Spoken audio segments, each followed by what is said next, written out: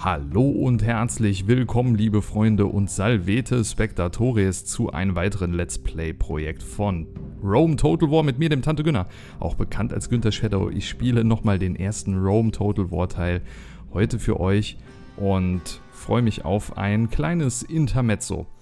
Ich werde eine kurze Kampagne spielen im Hintergrund rendert gerade ein anderes Video und ich habe festgestellt, ich kann auch Rome 1 spielen, weil es einige Leute gab, die waren so ein bisschen unzufrieden mit dem Let's Play-Projekt von Star Realms. Warum auch immer, ich mag das Spiel eigentlich gerne.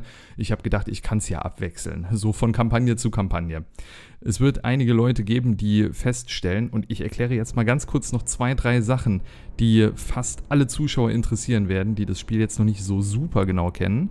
Ähm, es wird ein paar Zuschauer geben, die sich fragen, warum ich mehr Einheiten habe als sie auf ihrem Rechner. Sagen wir mal, ich habe, äh, keine Ahnung, 120 und die haben 40. Geht in die Grafikeinstellungen, wählt die erweiterten Optionen und setzt eure Einheitenzahl hoch. Kann auf die Rechenleistung eures PC gehen. Bei mir haut es ohne Probleme hin. Das Spiel ist ja auch schon recht alt, ist nicht mehr das allerneueste, aber man braucht schon ein bisschen Grafikpower. Da wird es einige Leute geben, die werden sich fragen, warum hat denn der Günner bei der Kampagne alle möglichen Länder, die ich nicht habe, wie zum Beispiel den Senat oder sagen wir mal Numidien. Das hat was zu tun damit, dass ich in der Datei deskr-unten strat, ich schreibe es in die Videobeschreibung rein, kein Problem, dass ich dort alle Fraktionen außer die Sklaven auf spielbar gesetzt habe. Warum nicht die Sklaven, kann manchmal zu Spielcrashes führen. Ihr findet diese Datei im Data World und dann Campaign Ordner, also zuerst der Data Ordner, dann der World Ordner und dann der Campaign Ordner von eurem Rome 1. Wenn ihr es auf Steam gekauft habt, ist es im Steam Apps Ordner. Da werdet ihr es finden. Und jetzt gibt es noch eine andere Sache, die ich noch ganz schnell loswerden will. Es wird ein paar Leute geben, die stellen ganz frustriert fest, scheiße, bei mir funktioniert Rome 1 gar nicht mehr. Und die haben das nicht auf Steam. Und das liegt daran, dass die meisten Windows 7 Systeme mittlerweile schon ähm, einen, äh, einen veralteten, äh, ja, ich will jetzt nicht sagen Kopierschutz, aber so schon eine Datei oder ein, ein Dienst, der zum Kopierschutz gebraucht wurde, abgeschaltet haben. Wenn dieser Dienst deaktiviert ist, wird Rome nicht mehr richtig starten und weil dieser Dienst äh, ein Einfallstor für alle möglichen ähm, Angriffe auf das System war, hat man sich bei Microsoft gedacht, wir schalten das Ding jetzt ab äh, zum Wohle unserer Anwender. Hat zur Folge, dass einige alte Spiele dann eben nicht mehr funktionieren. Eines davon ist Rome. Leider. So, wir spielen auf sehr schwer, sehr schwer. Und ich hätte eigentlich euch alle mit Chairete begrüßen sollen. Ich wurde gebeten darum, ich solle doch mal die Griechen spielen. Werde ich auch machen. Ähm, Viele andere haben gefragt, spielt Karthago, würden sie auch gerne sehen. Ähm, manche haben auch gesagt, Karthago ist ähm, schwieriger. Ich finde Karthago eigentlich recht einfach. Also Karthago ist äh, am Anfang deutlich schwieriger, aber keine Sorge Leute, Karthago werden wir auch noch sehen. Also Griechenland wird es jetzt werden. Wir verwalten alle Siedlungen selbst. Ich will sehen, was die KI macht. Ich brauche kein Schlachtenzeitlimit und Schlachten im Arcade-Stil will ich erst recht nicht. Äh, für alle, die sich fragen, was das Ding macht, dann hat man unendlich Munition und man hat keine Erschöpfung und so weiter und so fort. Ich will aber mit den ganzen Effekten da spielen.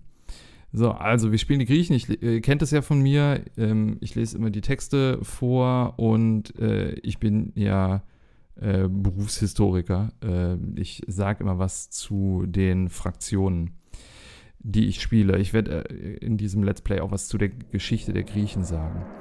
Die Griechen haben das Recht, stolz zu sein. Sie sind die Väter der Demokratie und des Verstands. Sie brachten die Zivilisation und Kultur in die Länder rings um das Mittelmeer.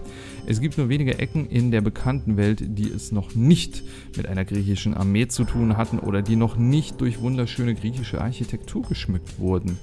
Die Welt verdankt ihr heutiges Gesicht den Griechen, die die Despoten aus Persien bekämpften und die Alexander bis zum Ende der Welt führte. Muss man aufpassen, Alexander war ja eigentlich Makedone und die Makedonen fühlten sich nicht unbedingt als Griechen so wie, wie die. Äh, ihr, werdet, ihr werdet sehen, also ich werde das alles noch erklären. Doch mittlerweile haben die Griechen an Macht verloren und sich zum Großteil in ihr Heimatland zurückgezogen. Ein loser Zusammenschluss von Stadtstaaten und kleinen Königreichen, die nur noch durch das gemeinsame Schutzbestreben zusammengehalten, äh, der nur noch durch das gemeinsame Schutzbestreben zusammengehalten wird, ist alles, was übrig geblieben ist. Aber dennoch ist Griechenland zu mehr berufen. Dasselbe Blut, das sich einst Xerxes widersetzte, strömt noch immer durch die Venen der Athener, Theben, Spartaner und all der anderen. Diese Männer Griechenlands wissen noch immer den Wert der Unabhängigkeit und Zivilisation zu schätzen und könnten ihn jederzeit wieder in alle Ecken der Welt verbreiten. Vielleicht ist es genau jetzt an der Zeit, dass die Griechen wieder an Größe gewinnen, Alexanders Erbe erkämpfen Ah nee, Moment falsch. Alexanders Erben kämpfen noch immer für das Reich. Die aufstrebende Macht Rom wird schon bald Italien verlassen und in andere Gefilde vorstoßen. Sie sieht sich den Karthagern als Rivalen gegenüber. Im Norden befinden sich die halb zivilisierten Dakier und andere Barbaren, die mit Sicherheit keine Bedrohung für zivilisierte Völker sind und bis zum heutigen Tage mussten die Griechen auch noch nie vor Despoten aus dem Osten auf die Knie fallen. Und äh, ich würde sagen, wir starten jetzt mal direkt in die Kampagne rein. Ich weiß gar nicht, wer kommt eine Videosequenz? Finden wir es raus.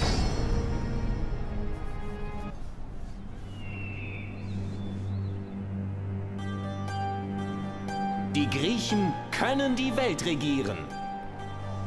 Alexander tat es. Er führte eine griechische Armee bis zum Indus. Er hat alles erobert. Die Welt gehörte ihm. Aber Alexander ist tot. Sein Reich zerfallen. Daher leben wir in schlechten Zeiten.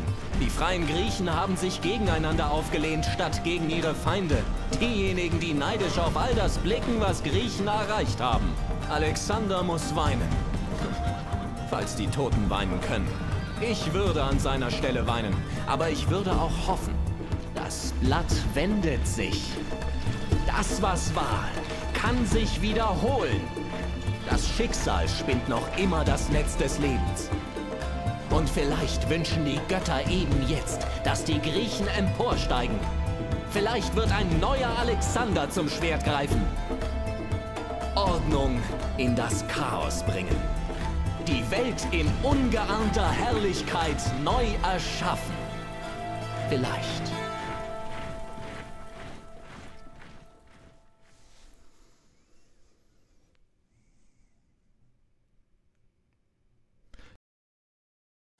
Ein Intro, das mir insgesamt sehr gut gefallen hat und ähm, ihr habt am Anfang auch schon sehr tolle Einheiten zu Gesicht bekommen, die wir alle noch gleich ein bisschen ausführlicher vorstellen werden.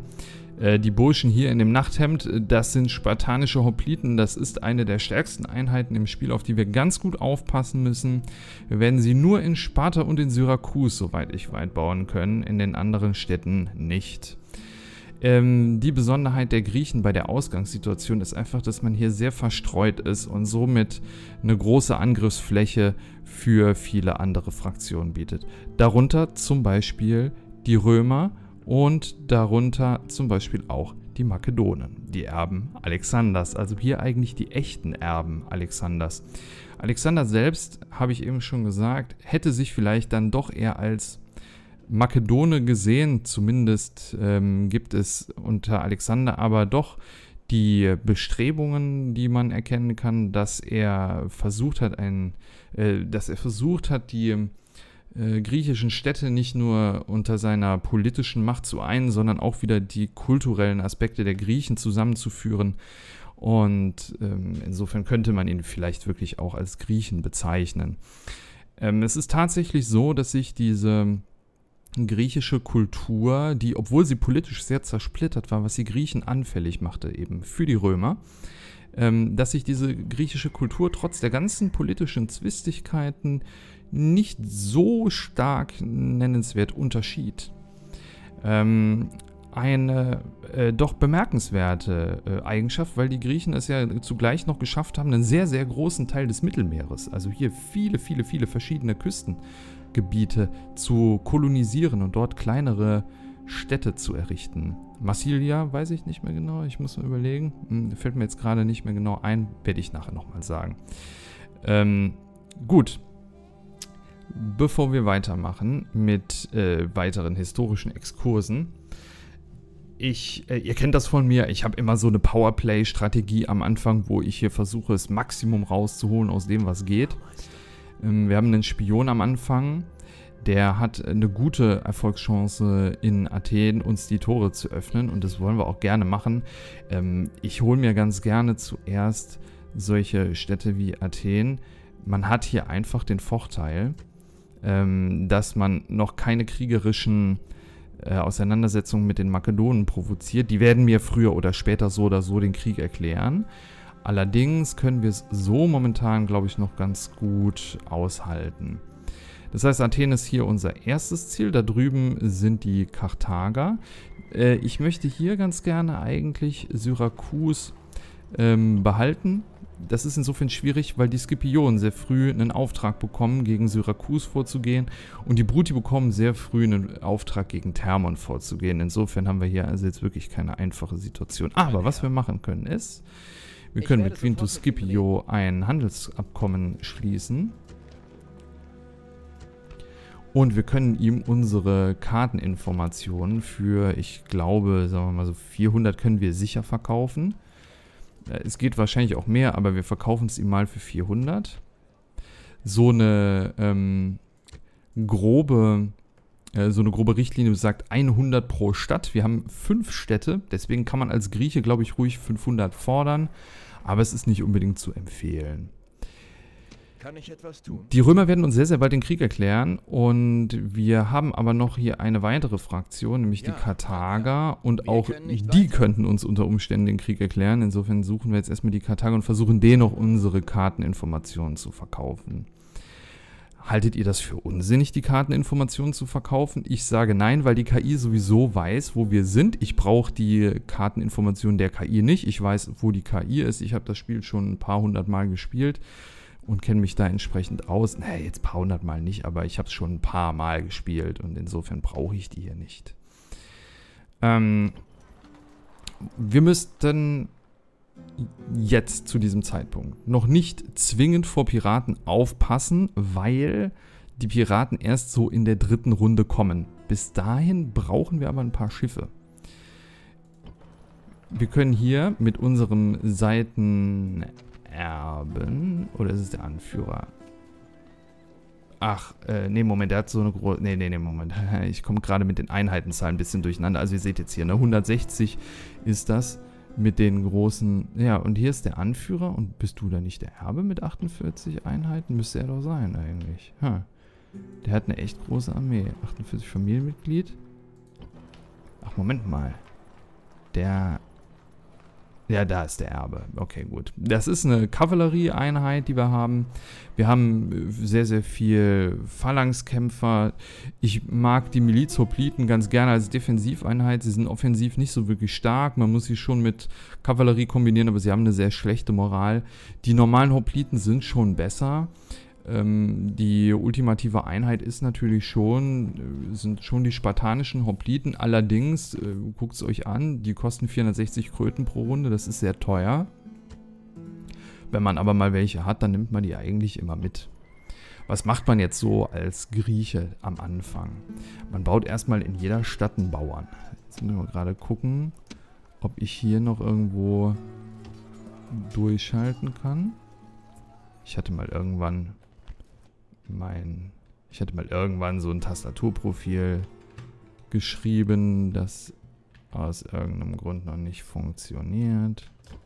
Ah, doch, da haben wir es doch. Ne? Ah, ne, er geht zum Anführer. Ah, okay, hier ist, glaube ich, besser, oder? Ich muss mich da noch ein bisschen nochmal reinfuchsen. Genau, wir nehmen hier überall die Bauern mit, sodass wir die in jeder Runde haben.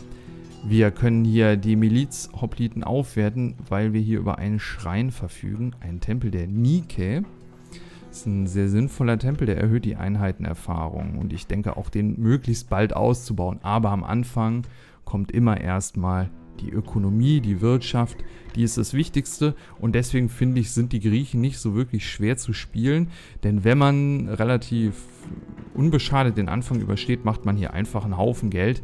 Die Städte sind unglaublich reich. Äh, man baut typischerweise in jeder Stadt einen Hafen, außer hier vielleicht. Da muss ich gleich nochmal gucken. Hier haben wir schon einen Hafen in Rhodos. Ähm, muss ich mal gleich gucken. Aber ansonsten bauen wir überall erstmal einen Hafen, wo wir einen Hafen bauen können. So, das Ding hier ist relativ teuer. Es würde sich hier ein Tempel der Nike anbieten, damit wir die Einheiten hier ein bisschen upgraden können. Das Ding ist, es könnte durchaus sein, dass die Römer uns schon gleich angreifen. Ansonsten sollten wir es machen. Ich, hab, ich muss mal gerade überlegen, habe ich da hier die Möglichkeit, die Römer anzugreifen?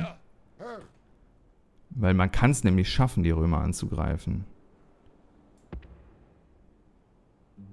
Dann habe ich zwar Krieg mit allen römischen Fraktionen. Ja, aber den Burschen da, den kann man, glaube ich, ganz gut wegplätten, ne? Und dann holt man sich hier die zwei... Dann holt man sich hier die zwei Hanebambel mit und dann, äh... Und dann geht's rund. Allerdings äh, mag Syrakus es natürlich nicht. Gehen wir mit dem Steuersatz auf niedrig, dann passt das aber. Wir haben so eine schlechte öffentliche Ordnung, weil wir keine Garnison drin haben. Da gibt es nochmal einen besonderen Malus. Seht ihr hier, keine Führung. Also wir haben vor allen Dingen halt keine Garnison drin. Ähm, was man aber echt mal in Erwägung ziehen sollte. Wir haben in der ersten Runde hier eine Garnison drin und dann passt das ja eigentlich ganz gut. Es gibt außerdem noch Tempel, die ähm, die, äh, die Handelsgüter steigern, braucht man nicht unbedingt. Erfahrungsgemäß bringt relativ wenig. Es ist wichtiger, entweder den Schrein der Nike zu bauen, weil der die äh, Erfahrungsstufe für die Einheiten erhöht, oder den Schrein der Athene, der bringt nämlich einen Bonus auf öffentliche Ordnung durch das, also durch Gesetze. Und die reduzieren die Korruption, die wir hier sehen. Die kostet uns hier auch echt schon eine ganz schöne Stange Geld. Korruption wird stärker, je weiter wir von unserer Hauptstadt, momentan Sparta, entfernt sind. Athen ist nicht unsere Hauptstadt. Athen hatte damals schon die ähm, griechischen Bündnisse, also die Bündnisse der griechischen Poleis, der Stadtstaaten, verlassen und machte mehr so ein eigenes Ding. Deswegen sind die hier übrigens auch als Rebellen markiert. Ähm, wir haben hier Bauern am Start und die lassen wir auch auf jeden Fall drin. Äh, das Doofe ist, ich komme hier noch nicht gut dran vorbei. Wie sieht das aus mit Korinth? Könnte ich mir da einen Krieg leisten? Theoretisch ja. Ist relativ schwach garnisoniert. Man könnte sie sofort belagern. Die Armee hier oben ist ganz okay. Aber Larissa wird sehr, sehr schnell sehr, sehr gut verstärkt werden. Ähm, deswegen nehmen wir hier alle Einheiten mal mit. Ähm, außer den Peltasten, oder zeig mal kurz. Wir könnten die eigentlich auch mitnehmen, ne? Ja, das ist doch super. Dann nimm sie mal mit, wir laufen direkt vor. Äh, ich packe ihn deswegen in die Stadt, denn es könnte sein, dass dieser Spion mir die Tore öffnet und dann habe ich den Vorteil und könnte die Stadt im Sturm nehmen. Das wäre ganz, ganz praktisch.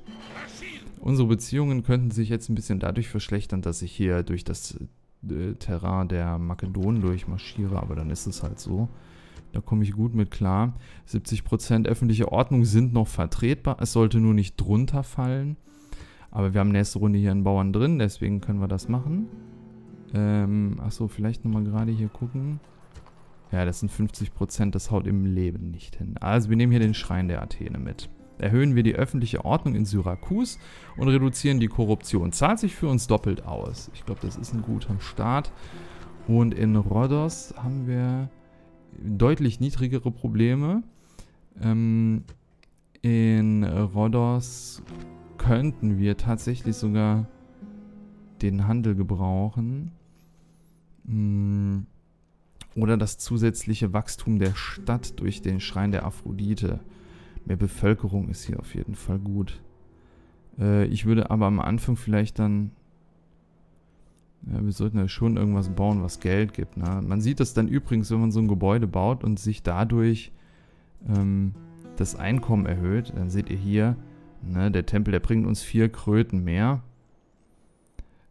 Dann wissen wir aber auch, dadurch, dass der Tempel 400 kostet, brauchen wir 100 Runden, bis der sich dann voll amortisiert hat. Also bis wir die Ausgaben wieder drin haben. Das ist dann natürlich nicht ganz so gut.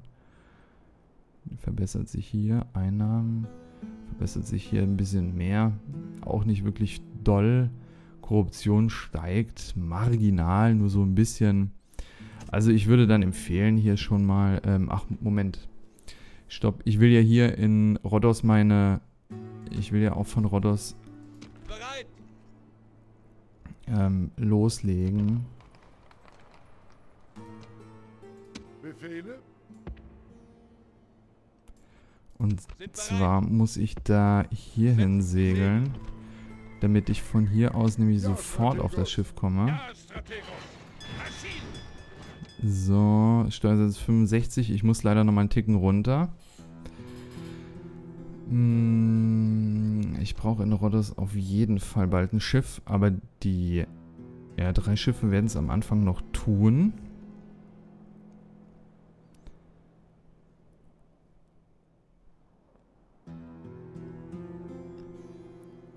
Wir bauen hier den Schmied, sage ich. Ja, wir bauen den. Ne, wir bauen den. Wir bauen, wir bauen, wir bauen. Moment, lass mich nochmal überlegen. Lass mich nochmal überlegen. Schrein der Aphrodite, Bevölkerungswachstum erhöhen. Den Schmied, den will ich nämlich haben, damit ich hier meine Schiffe aufwerten kann. Der Schmied verbessert ja leichte und schwere Waffen und Schiffe zählen als schwere Waffen, deswegen ist das hier ganz sinnvoll. So. Die erste Runde dauert bei mir immer recht lange. Ähm, müsst ihr äh, leider, da, damit müsst ihr hier leider rechnen an der Stelle. Wir haben außerdem noch ein paar Truppen in Pergamon. Ähm, aus Pergamon lohnt es sich, glaube ich, am Anfang nicht so sehr rauszumarschieren. Ähm, Sofort. Sardes gehört den Seleukiden, denen wir übrigens unsere Karteninformationen verkaufen werden. Aber Halikarnassos ist recht wichtig. Es ist auch nicht so verkehrt, von Pergamon ähm, hier rüber zu laufen.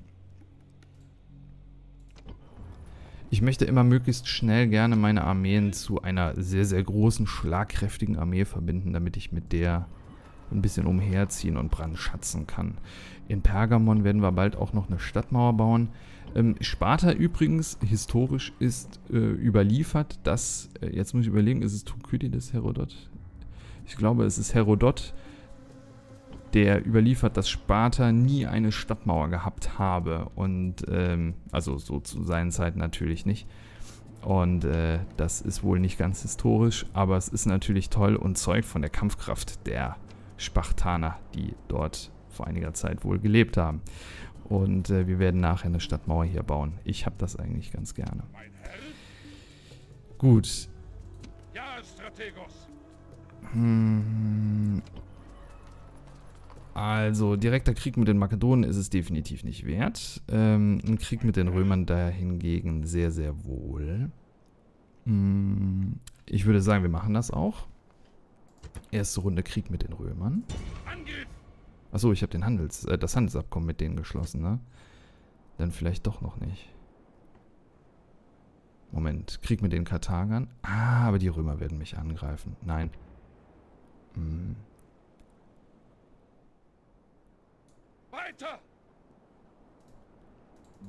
Moment, ich muss nochmal gucken. Aber die bauen mir sonst Einheiten. Ja, wir greifen die Römer an. Ähm. Jetzt muss ich gerade überlegen, wenn ich mich jetzt zurückziehe, hau ich dann komplett ab? Nee, ne? Ah, mir fehlt ein bisschen Geld? Okay, kein Problem. Lässt sich alles regeln. Lässt sich alles regeln. Ich wollte doch hier sowieso die Straße bauen, oder? Gut. Ich nehme noch die Hauptlieden mit. Äh, jetzt haben wir hier folgenden Effekt. Das hier sein...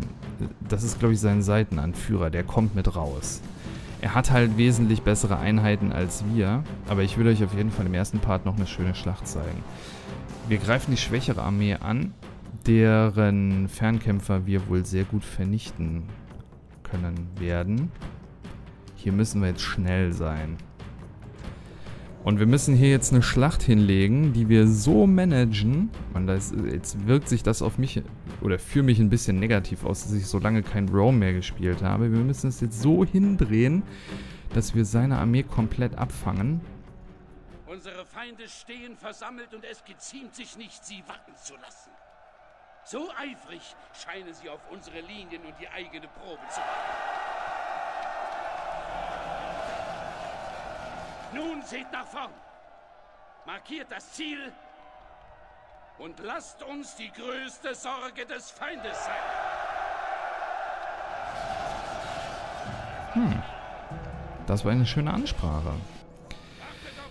Also, ich möchte es gerne halt so regeln, dass ich mit meiner Kavallerie vorstoße, seine Fernkämpfer ausschalte, mit meinen Fernkämpfern halt dazu stoße. Und ganz wichtig wird es eben sein, die Schlacht so zu managen, dass er keine Chance hat mit seinen Einheiten, ähm, äh, seine Armeen zusammenzuführen, Entschuldigung.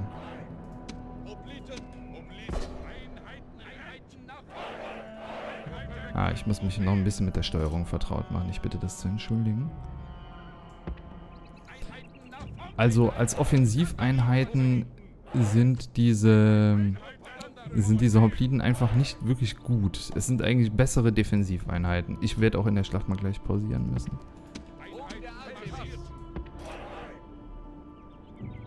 So, da. Ich glaube, so kann man ich glaube, so kann man es angehen lassen. Der Fährmann wird heute viel zu tun haben. Der Feind hat mehr Männer in den Kampf gerufen.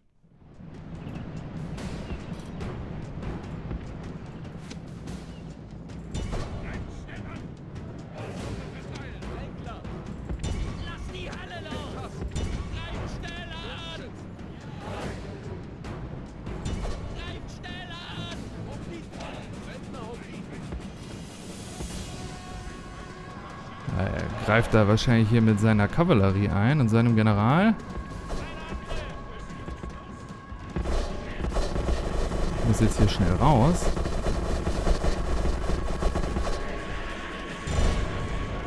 Ich habe mir hier so einen Mehrfachklick äh, draufgelegt.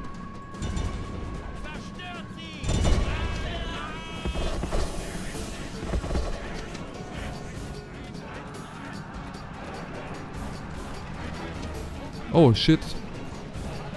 Falsche Formation.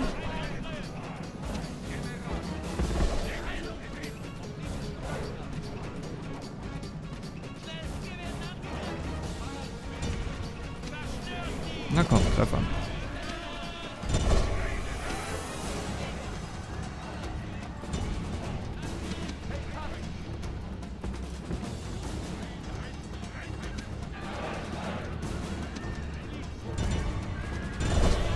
Das ist echt blöd. Der feindliche General läuft davon. Nie sollte sich ein Anführer so verhalten. Doch am schlimmsten ist dies inmitten einer Schlacht. Gut, das packen wir jetzt schon mal. Äh, ansonsten habe ich mich hier aber nicht mit umgekleckert.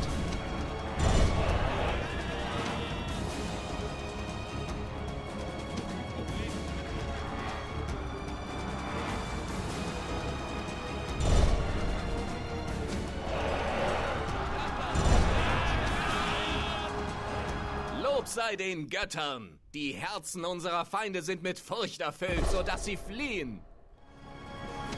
Okay, schön. Ja, ich muss mich wieder ein bisschen mit der Steuerung vertraut machen.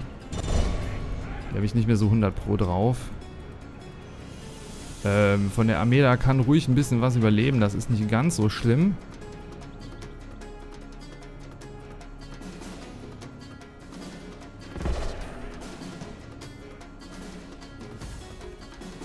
Wichtig wäre mir eigentlich hier, dass meine Truppen das jetzt ganz gut überleben. Äh, geh mal bitte hier hin. Ähm, du stellst dich bitte dahin. Und die Bogenschützen stellen wir dahinter.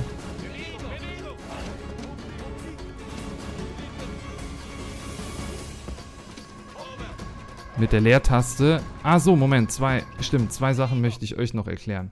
Und zwar, das werden jetzt bestimmt auch wieder einige fragen.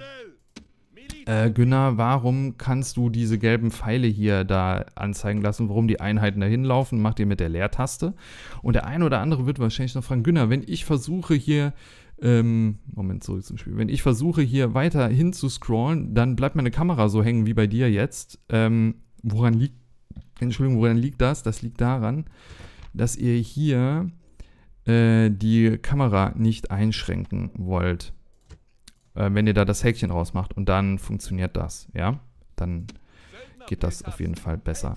So, jetzt wollen wir mal gerade schauen. Ich denke, ich werde die mal auf eine lockere Formation stellen, weil dann kann er nämlich seine Pieler wunderbar in meine Plänkler, die eh keine Munition mehr haben, reinwerfen.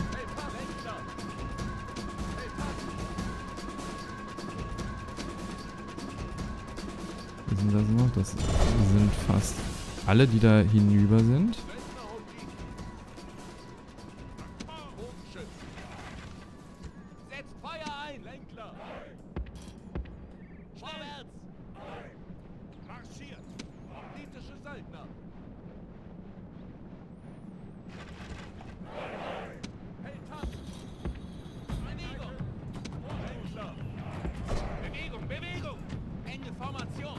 Oh, schnell, komm.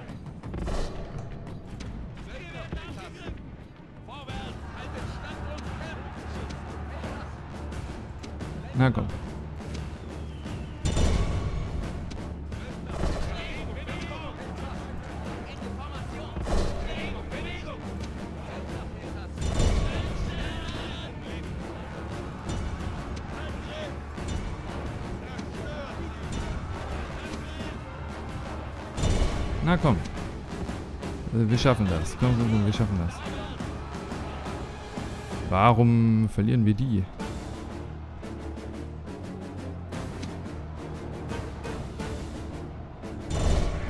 Ach, ich muss den Plänkelmodus hier ausschalten.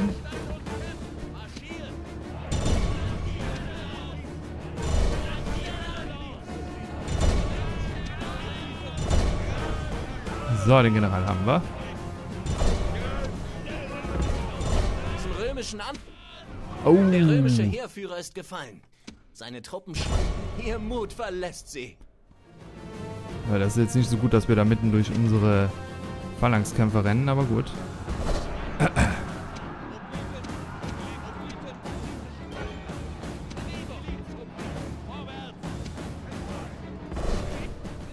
Die Oh Armee ja, des Schlacht Feindes fortsetzen. flieht. Verfolgt sie und jagt sie vom Schlachtfeld. Das wird vor allen Dingen mein General erledigen wollen.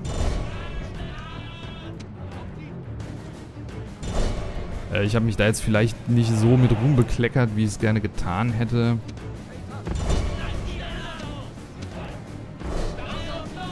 Aber wir können mit dem Ergebnis in jedem Falle zufrieden sein.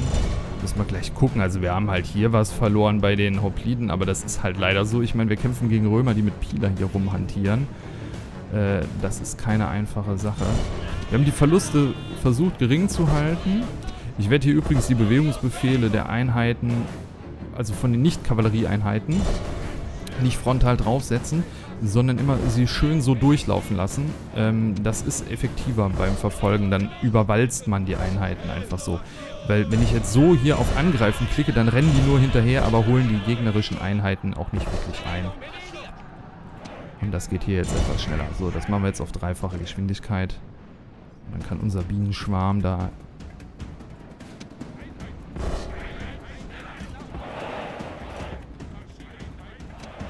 Auch nochmal diese Einheiten da platt rennen. Äh, wenn übrigens so eine Situation ist wie jetzt und es ist nur eine Einheit übrig, dann könnt ihr das verkürzen, indem ihr dann hier die Schlacht verlasst. Ja. Eine glorreiche Leistung. Euer Sieg ist vollständig. Besser gesagt, vernichtend. Ja, danke, danke. Ja, und zwar den Cornelius Scipio haben wir komplett vernichtet. Der Quintus, der hat noch ein paar Einheiten über, aber den Rest den haben wir gekriegt. Gut. Der, ihr seht natürlich, der General, der killt die meisten. Das ist bei der Kavallerie so. Das Gute ist, die Verluste füllt er sehr schnell wieder auf. Die Milizhopliten haben viele Verluste zugefügt. Die Bogenschützen waren vernichtend. Die Peltasten vernichtend mit 119 Kills. Das ist auch der Wahnsinn. 90 bei den Hopliten. Also insgesamt was, wo wir zufrieden sein können. Die meisten Verluste gab es auch bei den regulären Hopliten. Ansonsten war es überschaubar. Ja, wie sieht es jetzt aus? Wir haben unseren Kopf in ein riesen Hornissennest gesteckt, aber dafür können wir eine Gefahr Ein ruhmreicher Sieg. Jetzt effektiv umgehen.